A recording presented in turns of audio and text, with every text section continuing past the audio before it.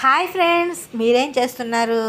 నేనైతే ఈరోజు KG chicken తీసుకొచ్చి పచ్చడి పట్టడానికి రెడీ అయిపోయాను ఫ్రెండ్స్. నేను పట్టేది ఫస్ట్ టైమే. కానీ నాలుగు రకాల టేస్ట్లు చేసి వీటిలో ఏది బెస్ట్గా ఉంటుందని సెలెక్ట్ చేసుకొని అది నా స్టైల్లో పడుతున్నాను ఫ్రెండ్స్. గరం మసాలాలు అయితే నేను ఫ్రెష్గా తయారు చేసుకుంటున్నాను. ఎందుకంటే నిల్వ బయట గరం మసాలాలు తింటే క్యాన్సర్స్ వస్తుంది అంటున్నారు ఫ్రెండ్స్. మనకున్న కాస్త దేవతని అలాంటి దీన్ని పాడు చేసుకోవడం ఎందుకు చెప్పండి?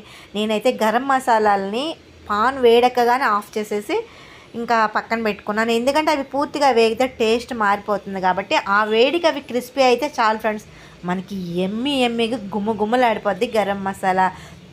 ఇంకా నేను ఈ కేజీ చికెన్ అయితే నీట్గా కడిగేసుకొని మంచిగా కొంచెం కొద్దిగా ఉప్పు కొద్దిగా పసుపు వేసుకొని వాటర్ మొత్తం ఇంకిపోయే వరకు ఎగరబెట్టుకున్నాను ఫ్రెండ్స్.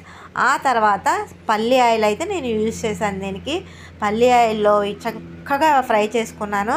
ఫ్రై అంటే అది మరీ గట్టిగా అయిపోయినా మనకి చికెన్ టేస్టే తెలియదు అలా అని కొంచెం లోపల తడి తడిగా మెత్తగా ఉన్న పచ్చడి నిల్వ ఉండదు ఫ్రెండ్స్. కాబట్టి చక్కగా మనం ఇలా కొరికితే రబ్బర్లా వచ్చేయాలి చికెన్ నవలడానికి. అలా ఉండాలి.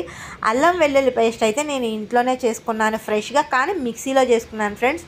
ఇంకా ఈ గరం మసాలా ఎలాగో రోట్లోనే మంచిగా ప్రిపేర్ చేసుకున్నాను కదా ఎక్కువ పని అయిపోతుందని చెప్పి అల్లం వెల్లుల్లి పేస్ట్ మాత్రం మిక్సీలో వేసుకున్నాను కానీ పక్కా ఫ్రెష్గా ఆ రోజు చేసుకున్నదే వాడాలి ఫ్రెండ్స్ ఈ నిల్వ పచ్చడికి. ఇలా చేసిన దాన్ని మనం రెండు మూడు నెలలు ఫ్రిడ్జ్లో పెట్టకుండా కూడా నిల్వ పెట్టుకొని మంచిగా తినొచ్చు ఫ్రెండ్స్. నిల్వ అంటే మనకి సంవత్సరం అంతా కూడా ఉంటుంది కానీ ఈ నాన్ వెజ్ మామూలుగానే అంత మంచిది కాదు ఎక్కువ తింటే. అలాంటిది నిల్వ పెట్టుకొని తినడం ఎందుకు ఫ్రెండ్స్? టూ త్రీ మంత్స్లో తినేసేలాగా మనం ప్లాన్ చేసుకుంటేనే మన హెల్త్కి మంచిది. కాబట్టి ఇది కారం అయితే నేను కేజీకి వచ్చేసి వంద గ్రాములు వేద్దామని పక్కన పెట్టుకున్నాను కానీ అంత పట్టలేదు ఫ్రెండ్స్. ఒక రెండు మూడు స్పూన్స్ అయితే పక్కన పెట్టేశాను. ఇంకొకటి ఏంటంటే నేను చాలా సార్లు నేను తిన్న దగ్గర నాకు తెలిసింది ఏంటంటే ఆయిల్ ఇలా కారిపోతుంది ఫ్రెండ్స్. అలా కారిపోవడం వల్ల అసలు ముక్కకి మనకి గ్రేవీ కంటే కూడా ఆయిల్ ఎక్కువ ఉండి తినలేకపోతున్నాం ఫ్రెండ్స్.